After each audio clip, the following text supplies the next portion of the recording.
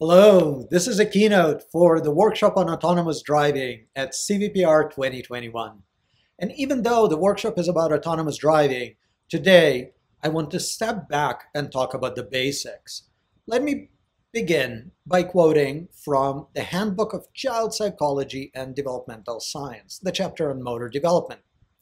The average toddler can run circles around the world's most sophisticated robots.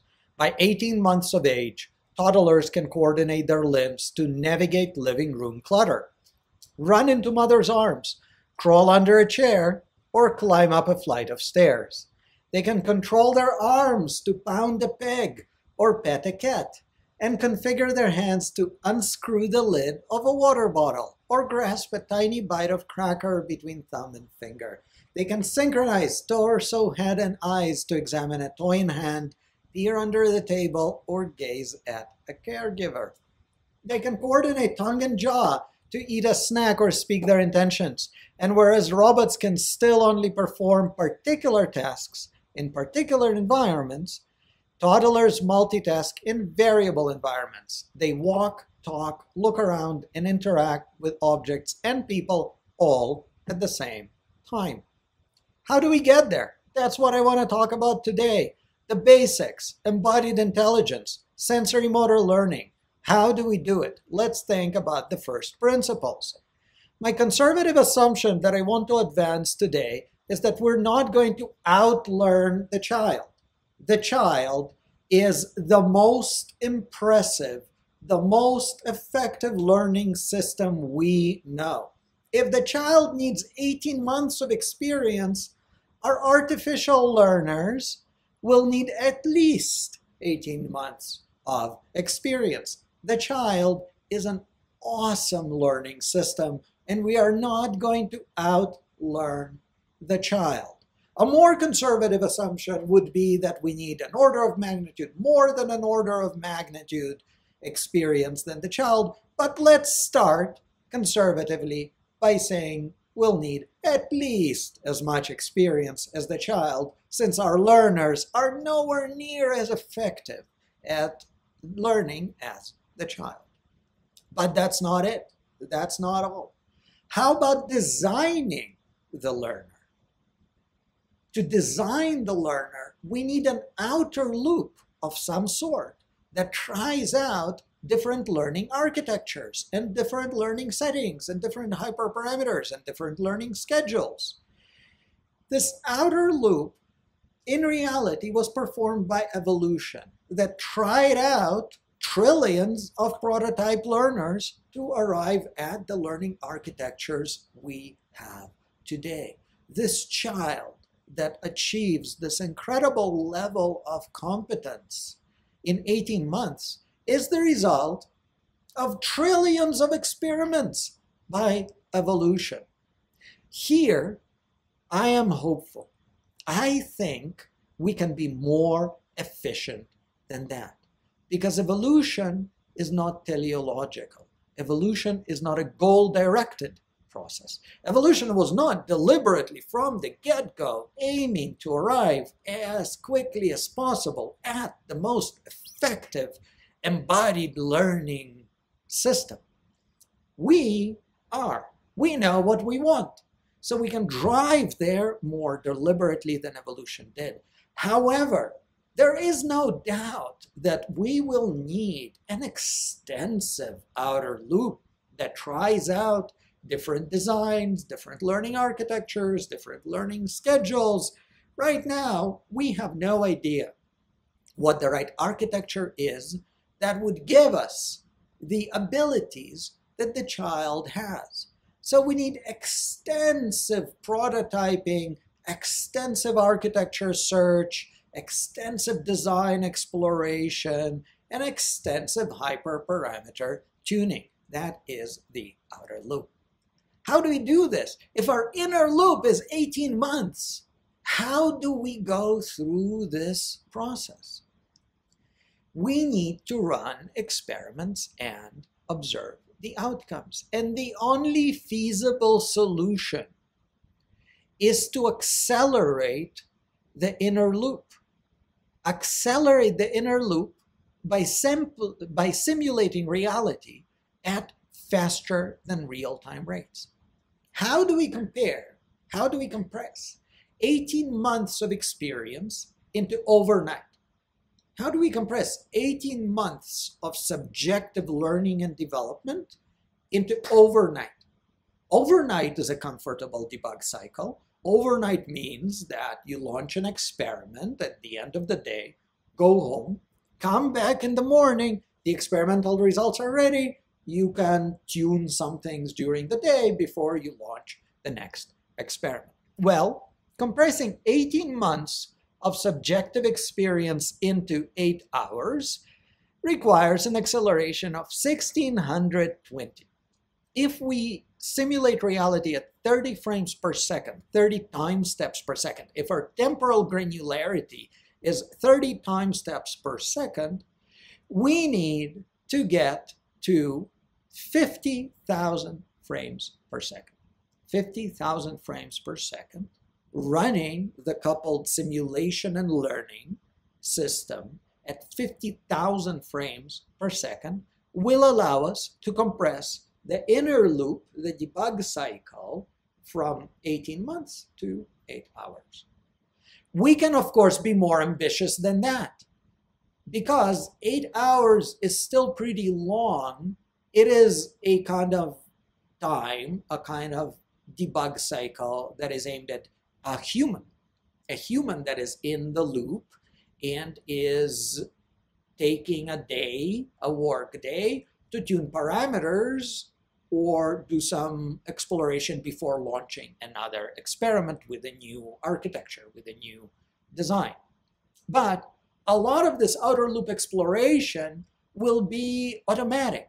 It will be an automatic architecture search, hyperparameter tuning process, perhaps some kind of evolutionary process that is automatically exploring different designs, different variations, and is just launching every variant that it decides to try out and, and seeing how well it learns. For this kind of automatic outer loop, it would be much better to have, let's say, a one hour long inner loop, a one hour long debug cycle. So how do we compress 18 months of experience into one hour? We do that by simulating 18 months of experience in one hour, which requires an acceleration of roughly 13,000, four orders of magnitude. We need to accelerate reality by four orders of magnitude to get a very comfortable one hour long debug cycle. So if reality ticks at 30 frames per second, we are aiming at 400,000 frames per second in our coupled simulation and learning. Our simulation and learning system needs to yield a throughput, provide a throughput of 400,000 frames per second. That is what we are aiming at. And I will show you today that this is possible we can achieve hundreds of thousands and even a million frames per second in coupled simulation and learning in immersive three-dimensional environments. This line of work was driven by three amazing PhD students that have all spent time or are now spending time in my lab. Alexei Petrenko, Eric Wijmans, and Brennan Shacklett.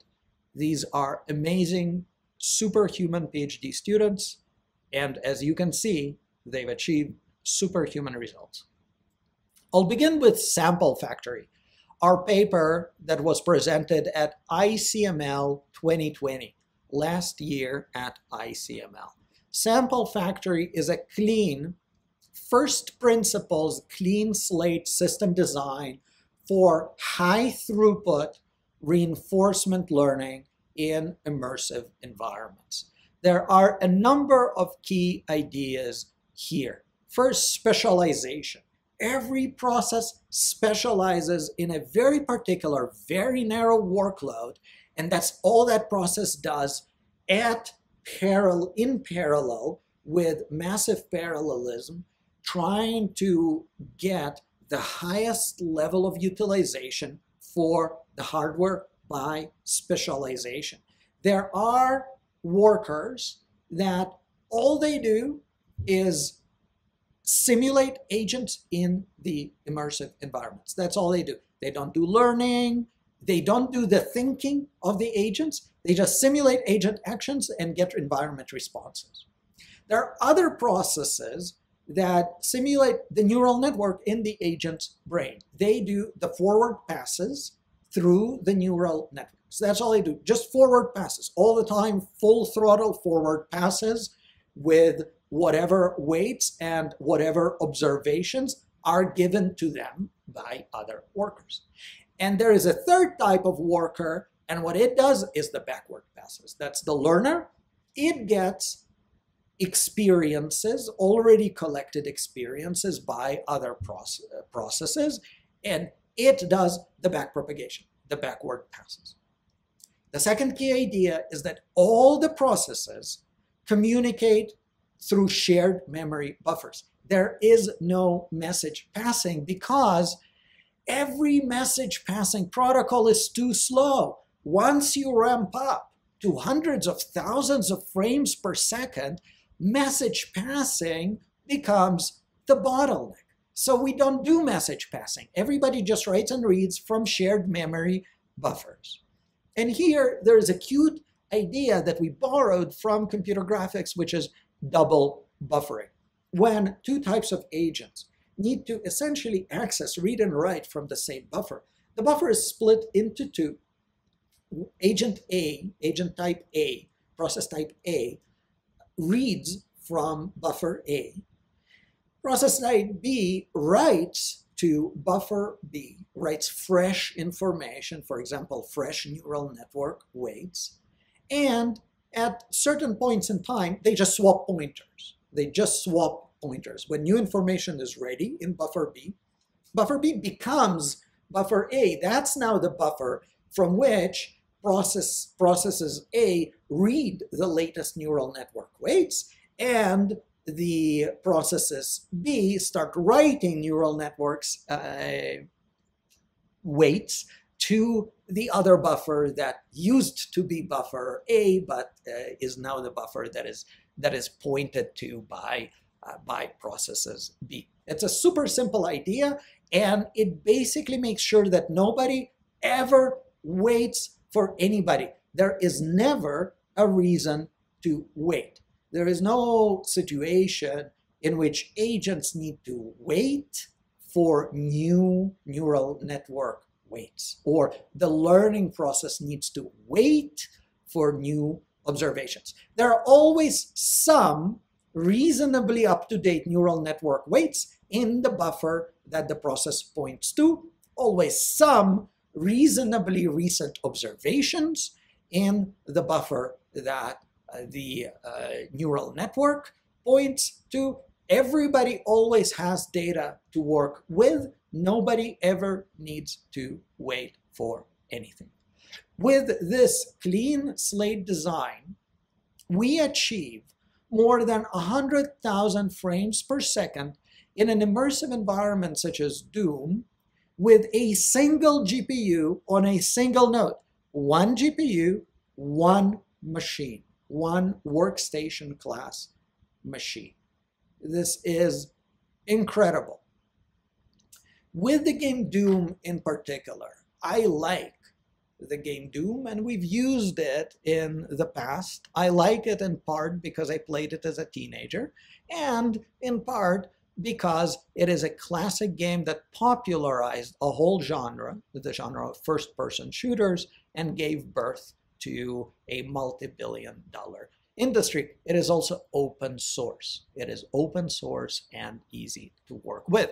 We've worked with it before. The green horizontal line here, DFP, stands for Direct Future Prediction.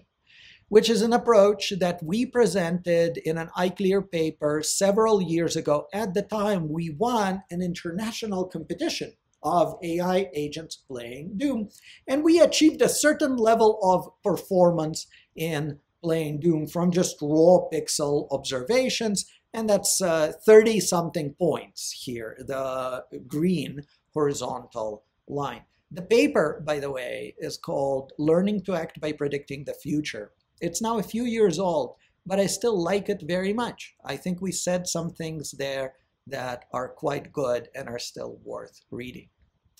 At any rate, a couple of years after that, we published another paper in which we showed that intermediate representations produced by computer vision provide a higher level of performance. They provide a boost of sorts by a few points. And that here is the orange horizontal line. The orange horizontal line is actually another very nice paper that was published at Science Robotics and uh, talk about the utility of computer vision.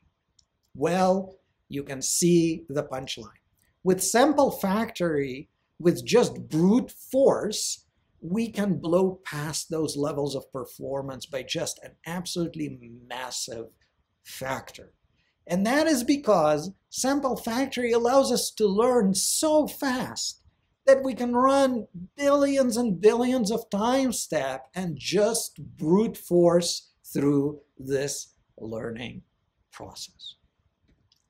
When we pit our agents that are trained with Sample Factory against the in-game bots in Doom, there is just no competition. Our agents crush the in-game bots. Here, the bots, the non-player characters, are set to the highest possible level of difficulty. This is very difficult. As a human, if you try to play against the uh, in-game bots at the very highest level of difficulty, for mere mortals like me, it's it's it's quite difficult. For professional players, it's easier, uh, but uh, but the in-game bots at the highest level of difficulty are are, are really quite uh, quite uh, scary. Well, our agents very quickly, well, quickly, within billions of time steps, which are made possible by Sample Factory, but very quickly in wall clock time, blow past that level of performance and just crush the in-game bots. There is just no competition anymore. DeepMind has a benchmark suite uh, based on their DeepMind Lab platform. This is a suite of about 30 immersive environments, tasks in immersive environments, using Sample Factory on a single machine with a single 4 GPU node, a workstation class, 4 GPU node. We achieved a higher level of performance than a DeepMind team that used a massive distributed cluster.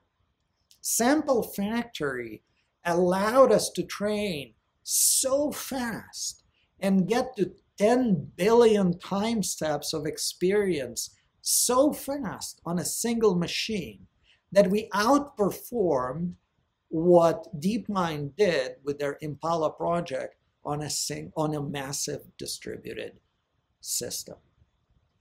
The second work I want to present is an ICLR paper that was just presented this year, ICLR 2021, a few weeks ago. Large batch simulation for deep reinforcement learning. And here we worked with more realistic environments. These are 3D scanned environments from the Matterport dataset they have some issues. I wouldn't quite call them photorealistic, as you can see that there are some artifacts, but they're certainly much closer to reality than Doom or DeepMind Lab.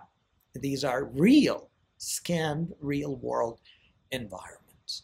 And the task here is navigation. You're given a coordinate in the environment, and the agent needs to get there as quickly as possible through potentially a very complex environment where the agent needs to traverse through rooms and corridors, maybe backtrack if needed, and get to a particular point in this extensive, complex, interconnected environment with a lot of occlusion. This batch processing simulator, BPS, batch processing simulator, is again a clean first principles system design for maximizing the throughput of this kind of coupled simulation and sensory motor learning in these immersive, reasonably high fidelity real world environments. The key idea is batch simulation and rendering where a large number of agents are simulated all at the same time. Their simulation is done in parallel by the same process and they are rendered, their observations in their different environments they're, they're instantiated in is rendered with a single rendering call. This is what it looks like.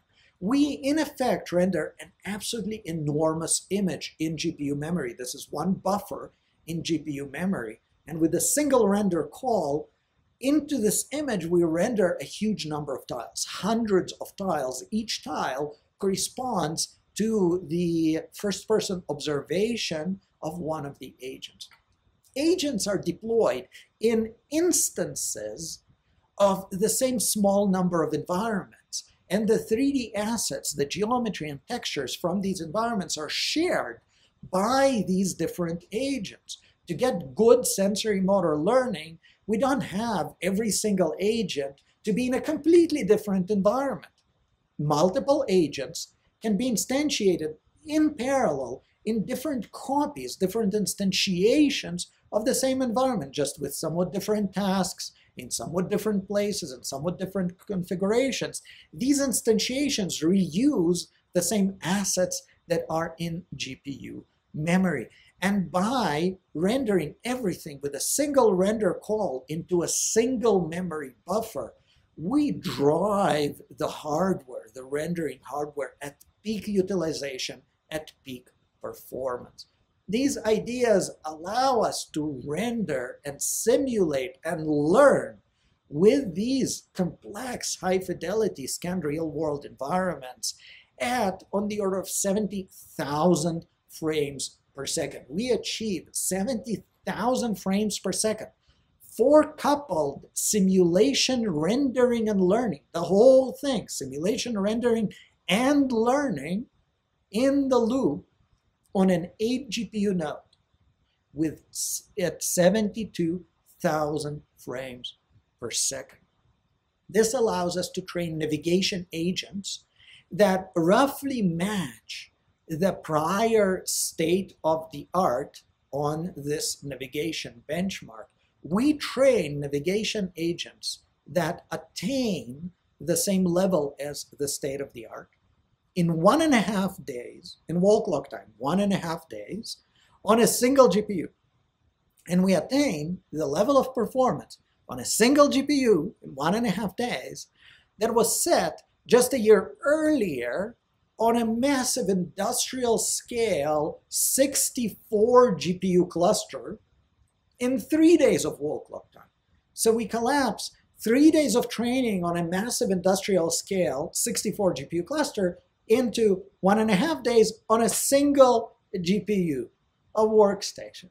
This brings to mind a cheeky quote that was attributed by Paul Barham. You can have a second computer once you've shown you know how to use the first one. The third paper I want to present today is Megaverse, and this is the first time this work is presented in public. Megaverse is a paper that was just accepted to ICML, ICML 2021. It will be presented next month at the ICML conference, and I'm telling you about this today for the first time. It has never been presented before. Megaverse is again a clean slate first principles system design that aims to attain 1 million frames per second on a single 8 GPU node in interactive environments that are shaded and lit in real time. So you have lighting, you have shading, and they're dynamic, they're interactive, that allow us to prototype object manipulation, rearrangement. The agents can really engage with these environments and modify them, manipulate them, and interact with them. And we achieve it. We achieve our goal. We hit and exceed a million frames per second on a single 8 GPU node. An 8 GPU node is a standard hardware consider, uh, configuration that is present in many deep learning labs. Generally, a standard configuration is an 8 GPU node, and on one of these, we attain a million frames per second for coupled simulation and learning with these interactive environments. There are a number of ideas here. The key idea really is this batch simulation and learning we build directly on the work that I presented to you earlier. And we just leverage and maximize this batch simulation and rendering such that a single process, a single instance of Megaverse can in parallel advance hundreds of environments, each containing multiple agents, and render them in parallel into a single GPU buffer with this kind of tiling that I showed you earlier. We leverage key ideas that I described earlier, specialization, batch simulation, and rendering to attain a million frames per second in real-time dynamic shaded environments. Before I proceed and show you some of these environments, let us step back and consider again what a million frames per second means. A million frames per second is a century of, of experience in one day that allows us to simulate a century of subjective learning experience in one day and wall clock time, or four years of subjective experience in one hour. Here's one environment. This is the obstacles environment in our Megaverse 8 benchmark suite that we built using the Megaverse platform. The goal here is to get to a green patch of the environment by modifying the environment as needed to traverse it. Here is a high wall, and to traverse it, the agent needs to build a staircase. And you can see the agent building a staircase. And now the agent is going to build a bridge over the red patch. The red patch is lava. Bad. If you step into it, you die. So the agent builds a bridge and then traverses this bridge many times to build another staircase to traverse another wall and get to the goal. This is actually quite hard. For a human, we can get the hang of it. We can do it. But it's it's hard. It's hard the environments are procedurally generated. You never see the same environment twice. The agent never sees the same environment twice. This is very important for avoiding overfitting and understanding that we're really training agents that are learning generalizable skills for testing generalization. We can just generate environments again and again and again and again, and we're going to get a different environment at a calibrated level of difficulty every single time. And we can change the level of difficulty. We have easier obstacle environments, we have harder obstacle environments. This obstacle environment is only one kind of environment, one out of very many kinds of tasks and environments that you can build with the Megaverse platform. And the platform provides multi-agent support out of the box. Just natively, you can simulate multiple agents, dozens of agents in the same environment. They can be organized into teams. Some can collaborate, some can compete, depending on the task and really your level of imagination for what you want to try out, what kind of embodied intelligence dynamics you uh, want to stress. We think of Megaverse and the Megaverse environments as a platform for building model systems for embodied AI. It's a platform for model systems for embodied AI. And the analogy here is neuroscience.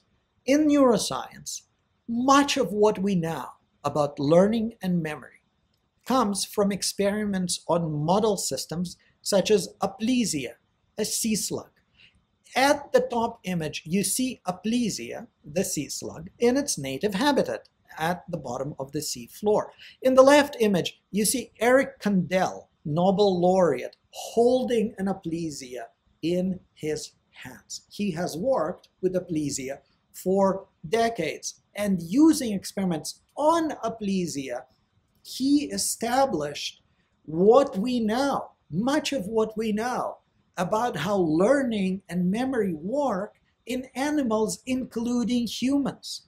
But rather than running experiments on humans in the whole complexity of our natural environment and the complexity of our nervous system and the difficulty of doing experiments on, on humans. Instead, he made the strategic call of studying a simpler model system, Aplysia. Aplysia has a simpler nervous system, and it has beautiful large neurons that you can see with the naked eye. But the basics, the foundations, the basic principles of learning and memory are actually the same. The principles that drive the organization of the learning system and the formation of memory are the same.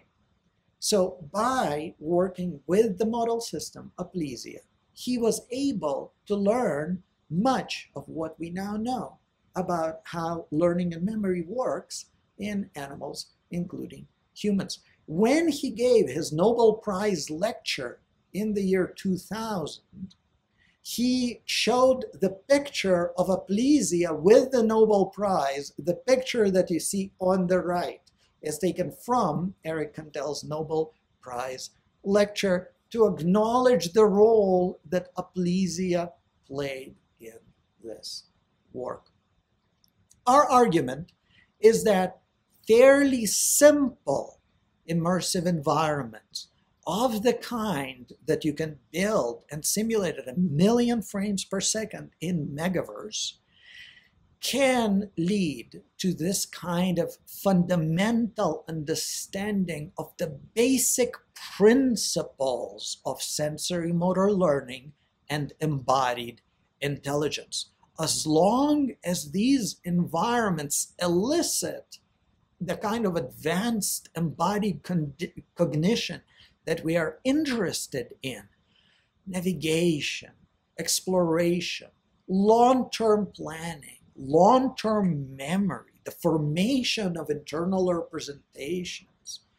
As long as we can elicit these with our model environments, we can usefully, productively, informatively study embodied cognition, embodied intelligence, sensory motor learning in these model environments built and simulated on top of Megaverse, which sure is convenient because we can do it at a million frames per second with a very, very manageable debug cycle. To give you just some indication that we're onto something here, that we can uh, simulate pretty non-trivial challenges in megaverse with a million frames per second. This is the uh, learning curve, the learning success rate over 2 billion time steps for model-free reinforcement learning in these obstacle environments that I showed you. Remember that every environment is different every single time. They're all procedurally generated, so the environments are not identical to what I showed you but they come from the same procedural uh, generation mechanism. And you see a beautiful flat curve that stays at zero. Turns out model-free reinforcement learning, at least our fairly credible instantiation of it by fairly experienced researchers, just doesn't get off the ground. So model-free reinforcement learning with a fairly reasonable instantiation of it just doesn't get off the ground with tasks of this complexity, which provides some indication that there's something interesting here. There's certainly something worth looking at and understanding. And my hypothesis is that this can lead to deeper fundamental understanding of the basic principles of embodied AI. Here's another task. This is tower building. The goal here is to build a tower that is as high as possible on the black perimeter, within the black perimeter on the black patch. This is human performance. This is a human performing this task. You can see that uh, the environment is dynamic, interactive. We're moving building, building materials around. We have a suite of eight different tasks. Now you're seeing the second out of eight. This is our bench, Megaverse 8 benchmark suite that test aspects of embodied cognition that seem to us to be fundamental. Navigation, exploration, tool use, manipulation, long-term planning, and memory. Here you will see the procedural generation aspect. You'll see a number of these environments, a number of tower building environments generated procedurally. Again, never see the same environment twice. You get to test generalization very well in this way. One very interesting aspect of these environments, the tower building environments, is that Model-free RL does attain a good level of performance. Here you will see a trained agent, trained with Model-free RL in Megaverse, building a tower. This is no longer human gameplay, this is an agent. And you will see that the agent got the hang of it. They understand what building a tower means. They need to build it progressively, maintaining a staircase structure that lets them go up and down and up and down and carry building material to the top to make the tower, the, the tower even higher. And they also understand how to wrap it around within the black patch to stay within the area that they must operate in. Very, very neat. Here is a third environment. This is called rearrange. This is inspired by the classic MIT copy demo. You're given a configuration of objects on the white platform, and you need to reproduce it with building materials that you're given on the blue platform. So whatever you see over there, you now need to create it over here on the blue platform. You're watching human gameplay. This is Alexei doing this task, and Alexei can of course do it, but turns out Model-free RL not so much. Model-free RL does not get off the ground and in our experiment so far does not attain a good level of performance on this rearrangement. Here you'll see the procedural generation aspect, the procedural generation of multiple of these rearrangement environments. And now I showed you three, three out of the eight Megaverse environments in the Megaverse 8 benchmark suite. We think the benchmark suite is good, but what I'm even more excited about is Megaverse as a platform that allows you to create such benchmarks. Megaverse is a platform that allows you to create such classes of procedurally generated worlds that stress different aspects of embodied cognition, and you can try out training agents in these worlds with your favorite learning paradigm, your favorite approach to sensory motor learning, and benefit from a million frames per second. So sample complexity is no longer a good excuse. We take away sample complexity as an excuse for poor performance. You can easily get billions of time steps during learning, tens of billions of time steps, no problem. If you want to try out something that requires tens of billions of time steps, no problem.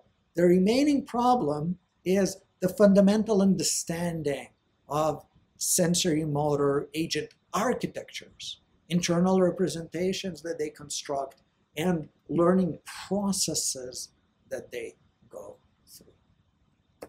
To summarize, speed matters achieving hundreds of thousands or millions of frames per second reduces our debug cycle such that we can study advanced embodied intelligence with very, very comfortable, very short inner loops that allow us to then iterate rapidly over different learning designs, learning architectures, and hyperparameter configurations.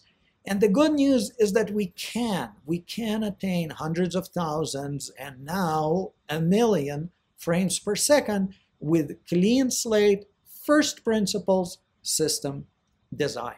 And we can do it with hardware that is present in pretty much every deep learning lab. A single 8 GPU machine.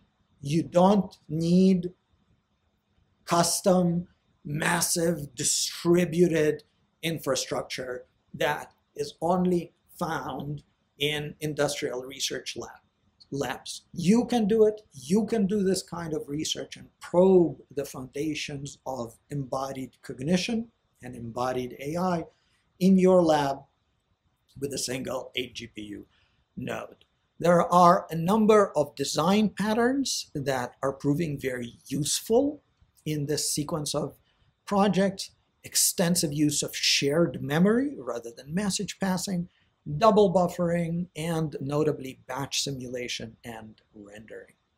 The frontier here, I think, is maximizing throughput with photorealistic simulation of very high fidelity, dynamic, real world environments. The megaverse environments I showed you are like model systems. And I made an argument that these model systems can carry us a long way. Way, and I believe this argument. I think this argument is good, and it is true that model systems of this sort can give us fundamental understanding and carry us a long way.